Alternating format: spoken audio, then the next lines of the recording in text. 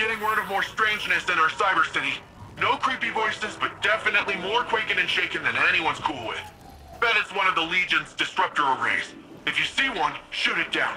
I mean, shut it down. Actually, do both.